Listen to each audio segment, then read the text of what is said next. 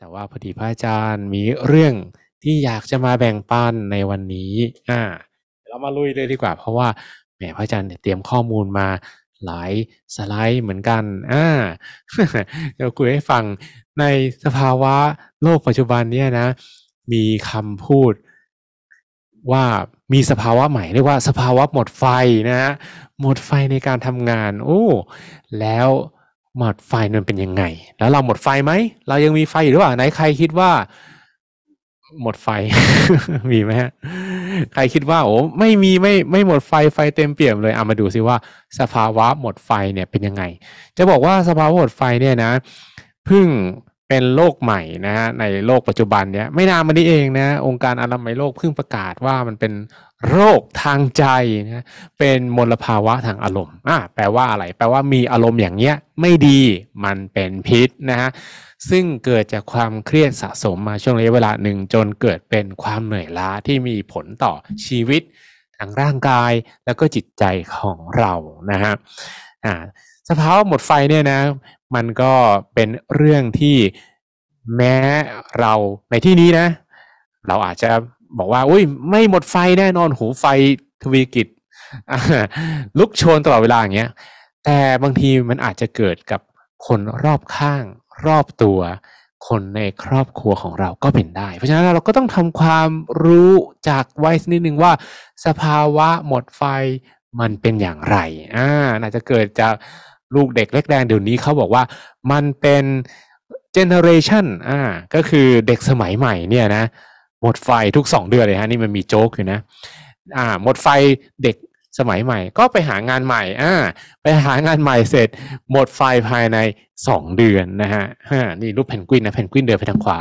อ่าหางานใหม่ได้แล้ว แต่ว่าพองานใหม่อีกสองเดือนหมดไฟอีกสุดท้ายแล้วก็เปลี่ยนไปเรื่อยๆหรือเปล่านะมีคำพูดอยู่คำหนึ่งนะ พระอาจารย์อยากให้จดเอาไว้เลยนะ เขาบอกว่าถ้าแปรงฟันไม่เป็นเนี่ยนะ เปลี่ยนแปรงสีฟันเนี่ย ก็ช่วยให้ฟันสะอาดขึ้นไม่ได้ อ่า ถูกต้องไหมฮะ แปรงฟันไม่เป็น เปลี่ยนแปรงสีฟัน เวลาเราขายของนะ เราถามวันนี้แปรงฟันเป็นไหมคะ นี่เราก็ชูแปรงสีฟันใหม่ ถ้าแปรงฟันไม่เป็นอะเปลี่ยนแปรงสีฟัน นี่แปรงสีฟันที่ทำให้แปรงฟันสะอาดขึ้น ลูกค้าเขาจะนำนั่งงงใช่ไหมเอ๊ะ เกี่ยวไหม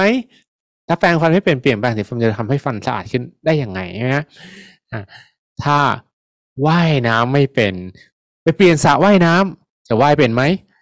มันก็ไม่ได้ช่วยอะไรถูกไหมฮะว่ายน้ำไม่เป็นมันก็ต้องฝึกว่ายเป็นถ้าไปเปลี่ยนสระว่ายน้ำไปโทษสระอ่าลำไม่ดีโทษสระ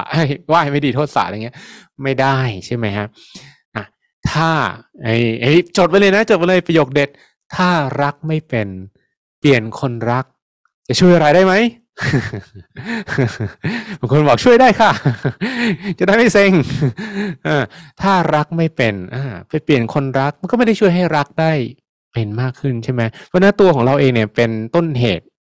ทุกๆอย่างนะพระอาจารย์ก็เลยอยากจะฝากไว้นะ แต่ทำไมคนสมัยใหม่เนี่ยหมดไฟง่ายจังนะฮะแหมเรารับน้องเข้ามาในที่ทำงานบางทีเรารับคนงานเข้ามาเนาะ สองเดือนเนี่ยเปลี่ยนงานแล้วมีไหมฮะ เออเอาเราทำอะไรได้ไหมเนี่ย จริงๆแล้วต้องบอกว่าคนสมัยใหม่หมดไฟง่ายง่ายมันมีสาเหตุฮะ อ่า เรามาดูกัน ว่าเราเป็นคนยุคไหนนี่ยพระอาจารย์ให้ยกมือนะ อ่า เดี๋ยวนี้เขาบอกว่าจะมีคนอยู่ด้วยกันอย่างน้อยๆ เนี่ยสี่ gen เขาเรียกว่า baby boomer นะฮะ gen baby boomer เนี่ยมีไหมฮะเนี่ย gen baby boomer baby boomer ก็คือเขาเรียกว่าอยู่ในยุคในอดีตเนาะน่าจะเป็นคุณพ่อคุณแม่ของเรานะฮะ gen นี้เนี่ยเวลาจะติดต่อกันเน่ะเขาส่งจดหมายอืม gen baby boomer นะส่งจดหมาย มีใครเคยเขียนจดหมายบ้างไหมฮะเคยเขียนจดหมายบ้างมีไหมอ่าเวลาเราส่งจดหมายเนี่ย สมมุติเราส่งมาหาญาติพี่น้องที่กรุงเทพ หรือส่งไปจังหวัดไหนก็ตาม เราได้จดหมายตอบภายในกี่วัน ภายใน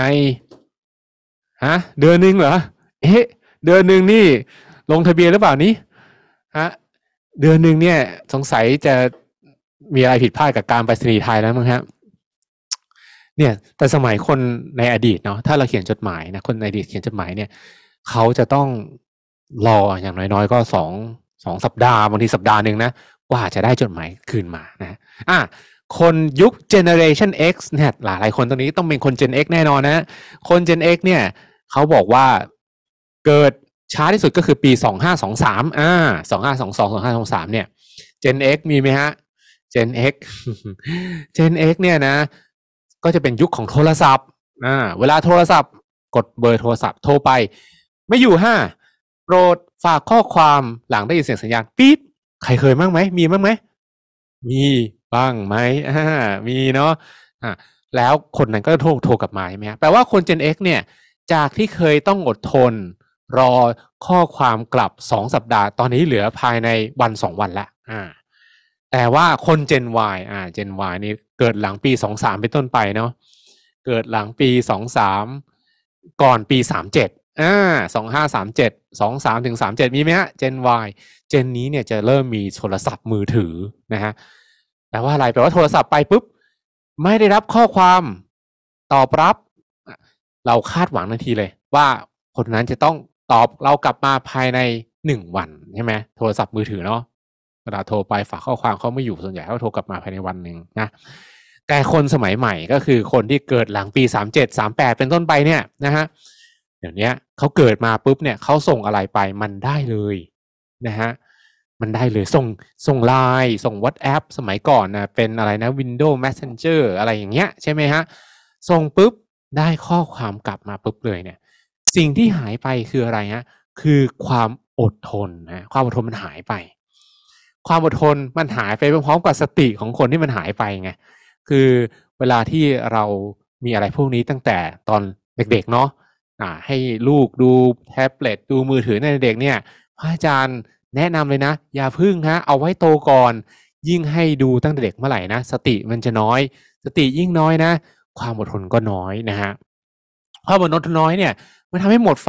ง่าย ๆ นะ หมดไฟเป็นยังไงอะก็จะเริ่มหมดอารมณ์ก่อนนะ หมดแรงรู้สึกแบตหมดเร็วจังบ่ายสามแบตหมดแล้ว มีใครเป็นบ้างไหมฮะ หรืออาจจะหมดแรงจูงใจขาดความมั่นใจอะมีใครเป็นบ้างไหมฮะหรืออาจจะประสิทธิภาพในการทำงานลดลงโอ้อันนี้นี่ คือยังไม่หมดหรอกตัวเราเองปฏิเสธเลยไม่หมดไฟนะ แต่เราทำงานได้ไม่ดีเท่าเดิมอ่านะฮะจริงๆแล้วความหมดไฟเนี่ยนะ มันจะตรงคล้ายๆกับความเครียดแต่อยู่คนละด้านนะคือความเครียดเนี่ยจะมีความติดพันกับงานดราม่าหนักมาก ทุกอย่างดูรีบเร่ง สูญเสียพลังงานร่างกายเหนื่อยไปหมดเลย แล้วก็ทำให้ไปสู่โรควิจกจริตหรือที่เรียกว่า anxiety นะฮะส่วนหมดไฟตรงกันข้ามกันนะ คือไม่อยากทำงาน ไม่อยากทำอะไรอยากอยู่บ้านเฉยๆทำอะไรไม่ถูกเลย ไม่รู้จะเริ่มทำอะไรก่อน สูญเสียแรงจูงใจ แล้วก็นำไปสู่ภาวะซึมเศร้า แล้วก็มีผลต่ออารมณ์นะฮะอันนี้จะสังเกตนะว่าคนละด้านกัน แต่ทั้งสองเรื่องเนี่ย มันมีจุดเริ่มต้นมาจากใจของเราเองนะฮะอ่ามีจุดเริ่มต้นจากใจของเรายังไงอ่าพระอาจารย์ก็อธิบายให้ฟังนะฮะคือเวลาที่เราทำอะไรเนี่ยทำกรรมอย่างหนึ่งนะคำว่ากรรมนี่แปลไม่ได้แปลว่าความชั่วนะกรรมดีก็มีนะเอาว่าการกระทำของเราอย่างหนึ่งมันจะเกิดขึ้นสามอย่างนะฮะหนึ่งก็คือผลของมันเนาะอ่าสองคือพลังงานสามก็คือความทรงจำนะฮะเออสามอย่างเนี่ย มันเกิดขึ้นตอนที่เราทำกรรมอะไรสักอย่างนี่แหละ มันจะเกิดขึ้นสามอย่างนะฮะทีนี้เราจะมาพูดถึงเรื่องของพลังงาน เวลาที่เราทำความดีเราได้พลังงานบวกอ่าเวลาที่เราทำไม่ดี เราได้พลังงานลบอ่าตรงนี้แหละสิบประเด็นก็คือพลังงานเนี่ยนะ มันถ่ายทอดกันได้ฮะเชื่อไหมเวลาที่เราบวกบวกอยู่นะ เราไปคุยกับคนที่มีพลังงานลบ โอ้เรารู้สึกแย่ทันทีเลย เคยเป็นไหมฮะพลังงานเนี่ยมันถ่ายทอดกันได้อ่าเคยเป็นเนาะเวลาที่เราวันนี้เราเริ่มต้นมาวันใหม่รอยยิ้มสว่างสวัยพอไปคุยกับ โอ้คนลบๆมาที่ทีนึงโอ้โหใจเราตกเลย ก็เป็นเพราะว่าเราไปดูดพลังงานเข้ามาเดี๋ยวพระราชาให้ดูนะว่า มันถ่ายทอดกันอย่างไรนะฮะ เดี๋ยวขอเช็คเสียงก่อนนะฮะอ่านิดนึง อ่าโอเคนะอ่ามาดูสิว่าพลังงานลบนี่ มันมันเป็นยังไงเหรอ มันมันถ่ายทอดกันได้ด้วยเหรอ พลังงานลบเนี่ยอ่าดูวิดีโอนี้นะฮะ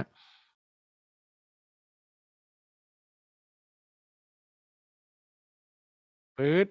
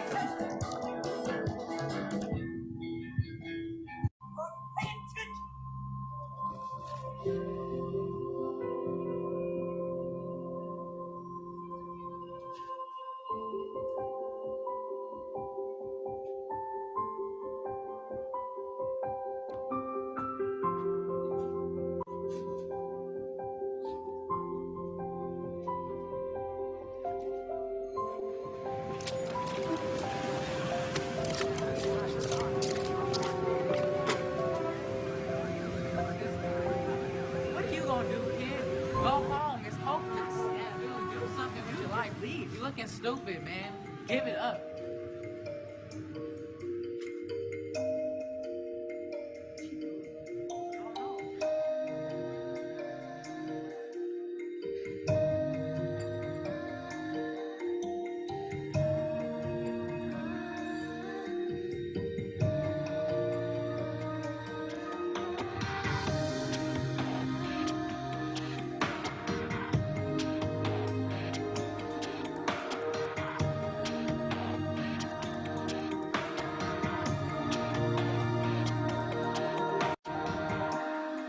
าเห็นไหมว่าพลังงานลบมันก็ถ่ายทอดได้ พลังงานบวกมันก็ถ่ายทอดได้เหมือนกัน แต่ปัญหาก็คือ เมื่อไรก็ตามที่เราเริ่มมีพลังงานลบ มากกว่าพลังงานบวกเนี่ยเมื่อนั้นเนี่ยเราก็จะมีความเครียด แล้วก็อาจจะหมดไฟได้ถ้ามันเป็นไปนานๆเนาะทีนี้เราจะต้องทำอะไรสักอย่างเนาะที่จะทำให้เราเนี่ยหนึ่งก็คือไม่รับพลังงานลบมาสองก็คือ ต้องแก้ไขออกไปให้เร็วนะฮะจริงๆแล้วสภาวะหมดไฟในการทำงานเนี่ยนะมันมีสองสาเหตุฮะหนึ่งก็คือสาเหตุเพราะเรื่องงานนั่นแหละนะเรื่องงานเนี่ยกับสองเนี่ยมันอาจจะไม่เกี่ยวกับงานเลยนะแต่มันทำให้เราหมดไฟได้นะอ่าเรื่องงานนี่ยกตัวอย่างอย่างเช่นโอ้งานเราเนี่ยมันต้องทำตัวเลขมันต้องมีความคาดหวังแต่เราผิดหวังอะ่ะแล้วตอนเนี้ยกราฟมันลงมาเรื่อยๆ แล้วเรา รู้สึกท้อแท้ เพราะว่าเราทำอะไรมันก็ไม่ดีเลยอย่างเงี้ย อันนี้ก็จะทำไปสู่ความหมดไฟได้นะฮะหรืออีกเรื่องหนึ่งก็คือ สภาวะล้อมเนาะอ่าซึ่งแก้ไขได้โดยการสร้างรอยยิ้มและปิยวาจา และคำพูดที่ดีๆ ในที่ทำงานเนาะมันก็ช่วยทำให้ตัวเราเองเนี่ยมีพลังงานบวก แล้วก็คนในที่ทำงานเนี่ยก็มีพลังงานบวกไปด้วยนะฮะคือถ้าเกิดว่ามี วัฒนธรรมการทำงานที่มันเครียดไปหมดเลยอย่างเงี้ยนะโอ้มันหมดไฟง่ายฮะเพราะว่ามันรู้สึกว่าไม่เป็นธรรมอะไรอย่างเงี้ยนะฮะแต่เชื่อไหมว่ามันมีสาเหตุของการหมดไฟที่ไม่ได้เกี่ยวกับงานด้วยนะ ก็คือเกี่ยวกับความรับผิดชอบในชีวิตของเราเองนะมนุษย์เราเนี่ยนะคืออาจารย์เคยพูดไปแล้วเรื่องนี้ว่าเราจะต้องมีความรับผิดชอบในชีวิตทั้งหมด 4 อย่างนะฮะก็คือเรื่องกายภาพ เรื่องสังคม เรื่องงานแล้วก็เรื่องสุขภาพใจ ถ้าเรารักษาดีก็เท่าทุน แต่ถ้าเรารักษาความรับผิดชอบเหล่านี้ไม่ได้ อันเนี้ยมันจะกลายเป็นปัญหา คือสี่อย่างเหมือนเดิมนะ แต่ชื่อเปลี่ยนไปละมันไม่ใช่ความรับผิดชอบสี่นะมันคือปัญหาสี่อย่าง และที่ปัญหาบางอย่างเนี่ยเป็นปัญหาที่เรื้อรังนะ อย่างเช่น เอาว่าง่ายๆเพิ่งอกหักมา อกหักมา สองสัปดาห์ มันยังไม่ฟื้นเลยมันเป็นแผลในใจอะฮะแผลในใจ คิดว่าคนอกหักจะมีไฟในการทำงานไหมฮะมันจะมีไฟเท่ากันไหมกับคนที่รู้สึกโอ้ความรักเป็นสีชมพูอะไรเงี้ยมันก็มันก็ไม่เท่ากันนะครับเพราะว่ามันเกิดเจอเหตุการณ์บางอย่างที่ทำทำให้เกิดเป็นแผลในใจขึ้นมานะฮะความสูญเสียอย่างเงี้ย มันก็ทำให้เป็นแผลในใจได้นะฮะทีนี้แผลในใจเนี่ยก็จะต้องรักษามันเนาะ ทีนี้แผลในใจเนี่ยนะ หลาย ๆ คนเนี่ยทำผิดวิธีคือไปคิดไปย้ำไปทำไอ้เรื่องราวที่มันทำให้เจ็บปวดใจบ่อยๆเนี่ยนะมันก็เหมือนกับเราเป็นแผลอะเราเป็นแผลเนี่ยนะ ถ้าเราอยากให้แผลเร็วๆเนี่ย เราจะไปกดแผลไหมฮะโอ้เราเป็นแผลเรื้อรังตรงฝ่ามือนี่เนี่ยโอ้โหเจ็บมากเลย แล้วเราไปกดอยู่นั่นอะ กดกดกดอย่างเงี้ย กดไปไม่เท่าไหร่เนี่ย แผลมันไม่หายขึ้น มีแต่แผลจะช้ำแล้วก็หายช้าลงไปอีกถูกไหม ดังนั้นแล้ววิธีการที่ทำให้แผลหายเร็วเนี่ยคืออะเราใส่ยาเรียบร้อยแล้วนะพันแผลแล้วอย่าไปกดมันปล่อยมันไว้อย่างนั้นอะอย่าให้มันไปโดน อย่าให้มันไปกระทบ นี่แหละ ก็เลยเป็นคำพูดที่ว่าอดีตที่ผิดพลาดเนี่ย ลืมไปให้หมดเลยสองความไม่ดีทุกชนิดเนี่ย อย่าไปทำอีกเอออย่าไปทำอีก มันจะได้ไม่เป็นแผลเพิ่มสามบุญกุศลให้ทำเพิ่มขึ้นทับทวี แล้วก็สี่ก็คือปฏิบัติธรรมทำสมาธิ เนี่ยจะทำให้แผลในใจเนี่ยมันหายเร็วขึ้นนะแผลในใจหายปุ๊บเนี่ยนะ มันก็ทำให้ต้นเหตุของพลังงานลบๆเนี่ยมันหายไปจากใจของเรา ไม่งั้นนะเรามีแผลในใจเนี่ย แล้วเราไปคิดมัน มันก็เหมือนกับแก้วน้ำที่เราไปหยดน้ำหมึกเนี่ยใสไปเรื่อยๆ น้ำมันก็ไม่ใสสักทีนะฮะดังนั้นแล้วเมื่อรู้อย่างนี้นะ อะไรก็ตามที่เป็นความผิดความพลาดของเราเนี่ย เราก็จะต้องเข้าใจว่ามันมีปัญหาอยู่สองประเภทคือปัญหาที่แก้ได้ กับปัญหาที่แก้ไม่ได้ ปัญหาที่แก้ไม่ได้ทำไงฮะก็ต้องปล่อยวางออกจากใจนะถ้าเราปล่อยได้เนี่ยนะ เราก็จะสามารถรักษาแผลในใจได้ ถ้าเราไม่มีแผลในใจ มันก็จะไม่ทำให้เกิดพลังงานลบนะแล้วมันก็ทำให้เราไม่เนื่องจากนอกจากทำให้เรามีความรู้สึกดีมีความสุขทุกวันแล้วเนี่ยก็ทำให้ ทำให้เราเนี่ยไม่หมดไฟด้วยนะฮะแล้วก็อันนี้ก็จะเป็นสิ่งที่เราสามารถช่วยเหลือคนรอบๆข้าง เราไปช่วยไปดูว่าเขามีปัญหาอะไรกับชีวิตเขาไหมอ่า ถ้าเกิดเขามีปัญหาในเรื่องสี่ด้านนี้ เราสามารถไปช่วยเขาแก้ได้นะเราก็จะทำให้เขาเนี่ยไม่หมดไฟง่ายๆ เพราะฉะนั้นการหมดไฟเนี่ยนะ มันก็เหมือนกับรถฮะ รถที่ อ่า เหมือนน้ำมันมันรั่วอย่างเงี้ย เออ เวลาที่เรามีรถ แล้วขับไปน้ำมันมันรั่วออก ขับไปได้ไม่ไกลรถก็หมดน้ำมันแล้วถูกไหมฮะ เพราะฉะนั้นแล้วถ้าเราสามารถที่จะทำให้รถคันนี้ไม่มีน้ำมันรั่ว ไม่มีแผลตรงอ่าเขาเรียกอะไรถังน้ำมันอะอ่าก็เหมือนกับเรารักษาแผลในใจของเรา เราก็จะสามารถให้กำลังใจตัวเองได้เนี่ยนะกำลังใจเนี่ยมันจะมีทั้งหมดสี่วิธีนะ ที่มาของกำลังใจก็คือหนึ่งไปขอจากคนอื่นนะนี่ไปขอจากคนอื่นเนี่ยกำลังใจไปดูดพลังบวกเข้ามา เราก็ไปดูเขาว่าคนไหนมีพลังบวก เราไปดูดเข้ามาเลยนะเฮ้ยให้กำลังใจเราหน่อยสิตัวเอง อย่างเงี้ย ไปขอเข้าไปบ่อยเนี่ย ครั้งสองครั้งเนี่ยมันคงไม่มีปัญหานะแต่ขอทุกวันเนี่ย เป็นไงฮะเขาคงมองหน้าเรานะ นี่เธอ หัดให้กำลังใจตัวเองหน่อยได้ไหมก็เลยเป็นแนวทาง ที่จะได้กำลังใจแนวทางที่สองครับคือ มันให้กำลังใจตัวเองอ่ามองหน้ากระจกเราต้องทำได้ ชีวิตเราต้องดีกว่าเดิม เราจะต้องเปลี่ยนแปลง เราจะต้องไม่ยอมแพ้อ่าอย่างเงี้ยคือการให้กำลังใจตัวเองสามเวลาที่เราให้กำลังใจคนอื่นเนี่ยเราก็มีกำลังใจเหมือนกันนะเพราะเราต้องให้คนอื่นไงถ้าเราไม่มีกำลังใจ เราจะไปให้คนอื่นได้ไหมไม่ได้ใช่ไหมเพราะฉะนั้นเราก็ต้องให้กำลังใจคนอื่นบ้างอ่าเวลาให้กำลังใจเขาเราก็มีกำลังใจกลับมาเองนะเอาเชื่อไหมว่าเวลาที่เราให้กำลังใจคนอื่นเนี่ยเราจะพูด คำเป็นธรรมะเลยเป็นอัดเป็นธรรมทำไงก็ได้ให้เขาชีวิตเขาดีขึ้นอย่างเงี้ย เราก็จะฟังคำพูดเหล่านั้นไงเมื่อฟังแล้วเราก็จะมีกำลังใจมากขึ้นไปด้วย เพราะเราเหมือนกับเราสอนตัวเราเองฮะแต่สุดท้ายที่ดีที่สุดก็คือเราต้องออกกำลังใจกำลังใจเกิดขึ้นจากใจที่มีกำลังนะฮะแล้วการออกกำลังใจทำอย่างไรนะออกกำลังกายอ่าออกกำลังกายคือการเคลื่อนไหวร่างกายอ่าถ้าเราไม่เคลื่อนไหวร่างกายร่างกายเราอ่อนแอ ถูกไหมฮะถ้าเราอยู่เฉยๆเรานอนโอ้เราขี้เกียจเรานอนโอ้ร่างกายเราก็จะไม่แข็งแรง การออกกำลังใจต้องทำตรงกันข้ามฮะคือใจเรามันมีธรรมชาติในการคิดอยู่แล้ว คิดลื่นคิดนี่แต่ยิ่งคิดมากใจเราจะยิ่งอ่อนแออ่าแต่ถ้าเราอยากจะให้ใจเราแข็งแรง เราต้องฝึกหยุดคิดนะฮะก็เลยเป็นที่มา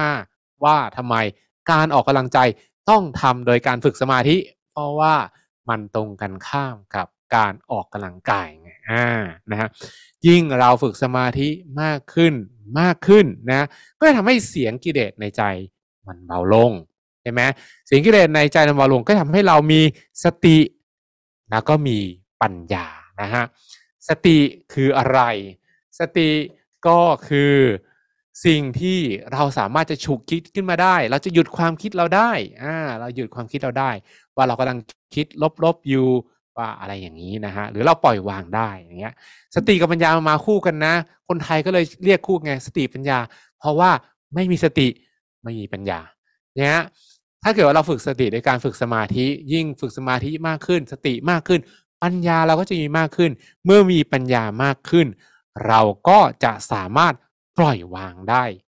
ดีขึ้นนะฮะเพราะว่าอะไรเพราะว่าเวลาที่เรามีปัญญาเนี่ย เราก็จะสามารถเข้าใจอะไรได้ โดยง่าย เรื่องนี้มันก็มันก็ต้องต้องต้องต้องปล่อยวางเนาะอย่างเงี้ยใช่ไหมฮะอย่างยกตัวอย่างอย่างเช่น สมมติมีใครในบ้านเราอ่าเขาทำให้เราผิดหวังอย่างเงี้ยแล้วเราเสียใจมากเลยนะฮะแต่เรามาคิดคิดดูเออมันก็ชีวิตของเขาเนาะเราจะไปทุกทุรนทุรายยังไงมันก็จะไปเปลี่ยนแปลงชีวิตเขาไม่ได้ สู้เราเอามาทำชีวิตเราให้ดีดีกว่าอย่างเงี้ยเออความคิดตรงเนี้ย มันเกิดขึ้นเมื่อใจเราใส่ขึ้น ใจเราใส่ขึ้นเราก็จะเข้าใจมากขึ้น เมื่อเข้าใจมากขึ้น ก็จะยอมรับอ๋อความจริงของชีวิตมันก็เป็นอย่างนี้นะชีวิตของคนเราก็มีขึ้นมีลง เราจะไปคาดหวังให้คนเรามาทำให้เป็นทำในสิ่งที่เราต้องการได้ตลอดเวลาก็คงจะเป็นไปไม่ได้นะเมื่อเข้าใจได้มากขึ้น ก็จะยอมรับได้มากขึ้น แล้วเมื่อยอมรับได้มากขึ้น ก็จะ ปล่อยวางได้มากขึ้นนั่นเองนะฮะซึ่งถ้าเราทำตรงนี้ได้เนี่ยเราจะขจัดพลังงานลบออกไปได้เยอะเยอะเยอะเยอะเยอะมากเลย แล้วก็จะทำให้เราเนี่ยไม่หมดไฟในการทำงานนะไฟเราจะลุกโชนตลอดเวลาเพราะเราสามารถให้กำลังใจตัวเราเองได้นะฮะนอกจากนั้นเราก็ยังมีกำลังใจเหลือเฟือเอาไปช่วยคนอื่น ที่เขาอาจจะกำลังหมดไฟอยู่ได้ด้วยนะฮะเมื่อเรามีสติมากขึ้น ความอดทนเราก็มากขึ้น ความอดทนเรามากขึ้น เราก็จะสามารถต่อปัญหาต่างๆได้นะเราก็จะไม่หมดไฟง่ายๆเนาะอย่างที่บอกว่าถ้าเราไม่แก้ไขตัวเราเองนะ เราจะไปเปลี่ยนแปลงอะไรรอบตัวไปเปลี่ยนแปลงสีฟัน เราก็แปรงฟันไม่สะอาดขึ้น หรือเราขับรถไม่เป็นเราจะไปเปลี่ยนรถเราก็ขับรถไม่ได้ดีขึ้นหรอกใช่ไหมฮะเรารักไม่เป็นเราไปเปลี่ยนคนรัก ก็ไม่ได้แปลว่าห้ามทำให้เรารักได้ดีขึ้นนะเพราะฉะนั้นแล้ว เราก็จะต้องเริ่มจากการเปลี่ยนแปลงตัวเราเอง แล้วเราก็จะสามารถให้กำลังใจตัวเราเองได้นะ วันนี้ก็คงอยากจะฝากไว้แต่เพียงเท่านี้นะอ่าก็อนุโมทนาบุญนะกับพี่หลีพี่หัวอีกรอบหนึ่งนะกับการมอบทุนการศึกษานะพวกเราอนุโมทนาบุญพร้อม ๆ กันเลยนะอ่าสาธุนี่เราได้บุญฟรีๆแล้วนะฮะแล้วก็ อนุโมทนาบุญกับการปฏิบัติธรรมใสๆของทุกๆคนในเช้าวันนี้ด้วยในวันนี้เรามีกำลังใจแล้วใช่ไหมพอเราได้ออกกำลังใจ